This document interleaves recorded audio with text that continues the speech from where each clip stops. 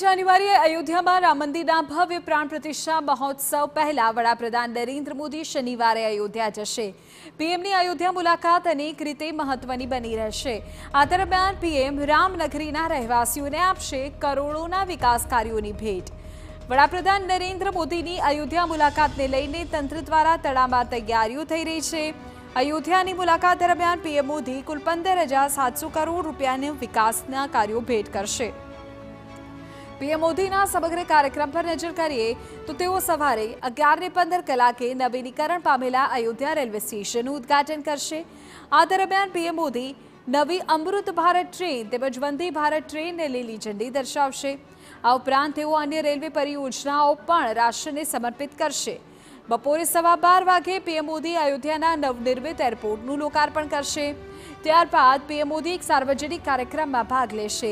જ્યાં તેઓ રાજ્યમાં પંદર હજાર સાતસો કરોડની વિવિધ વિકાસ પરિયોજનાઓનું લોકાર્પણ અને શિલાન્યાસ કરશે.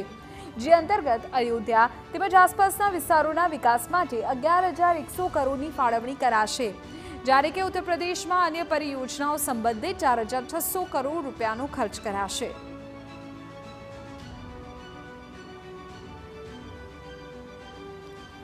હવે વાત કરીએ દિવ્ય અયોધ્યાના ભવ્ય એરપોર્ટની. તો અયોધ્યામાં નવનિર્મિત એરપોર્ટનો પ્રથમ તબક્કો.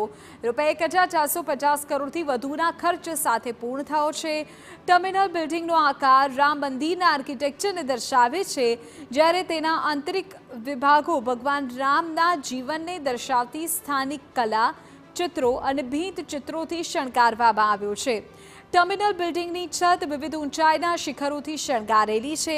ટર્મિનલમાં અવાહક રૂફિંગ સિસ્ટમ એલઈડી લાઇટિંગ, વરસાદી પાણીનો સંગ્રહ, ફુવારાઓ સાથે landscaping, water treatment plant sewage treatment plant solar power plant અને અન્ય ઘણી સુવિધાઓ છે.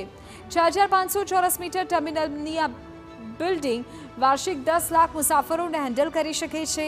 પ્રથમ તબક્કામાં રનવેની લંબાઈ બે હજાર બસો પચાસ મીટર છે અને બીજા તબક્કામાં તેને વધારીને ત્રણ હજાર એકસો પચીસ મીટર. ત્રીજા તબક્કામાં વધુ છસો પચીસ મીટર કરવામાં આવશે.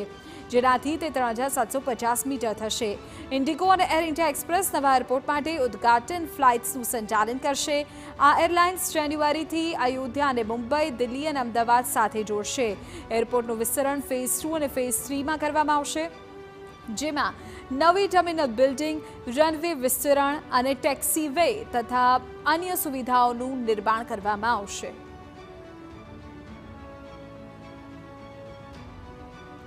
અયોધ્યાના એરપોર્ટની જેમ જ રેલવે સ્ટેશનનું પણ ભવ્ય રીતે નિર્માણ કરાયું છે. રેલવે સ્ટેશન પર ઉતરતા શ્રદ્ધાળુઓને જાણે કે ત્રેતાયુગમાં પહોંચી ગયાનો અહેસાસ થશે. આ સ્ટેશનને જોઈને તમને ભવ્ય મંદિરમાં પ્રવેશ્યાનો અનુભવ થશે. અહીંથી રામ મંદિર આશરે એક કિલોમીટર દૂર છે. અયોધ્યાનું નવું રેલવે સ્ટેશન આશરે પચાસ હજાર યાત્રિકોની ક્ષમતા ધરાવે છે. મંદિરની પ્રાણ પ્રતિષ્ઠા બાદ ભક્તોની સંખ્યામાં મોટા પાયે વધારો થવાનો છે, જેના પગલે નવનિર્મિત રેલવે સ્ટેશનમાં મુસાફરો માટે આધુનિક સુવિધાનું પૂરતું ધ્યાન રખાયું છે. પ્રાણ પ્રતિષ્ઠા બાદ પ્રથમ સો દિવસની અંદર ભક્તો માટે દેશની અલગ અલગ જગ્યાએથી એક હજારથી વધુ ટ્રેન દોડાવવામાં આવશે.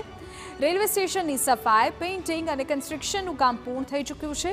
આ ભવ્ય રેલવે સ્ટેશનમાં tourist, information centre, medical facility સહિત અનેક સુવિધાઓ સામેલ છે. અયોધ્યામાં બનેલા રેલવે સ્ટેશનનું નામ બદલીને અયોધ્યા ધામ કરી દેવાયું છે.